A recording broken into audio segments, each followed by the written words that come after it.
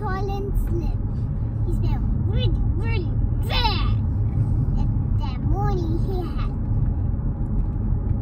too much coffee. He's getting up to mischief. But he's stingy. Honky tonky, wiggy wongy.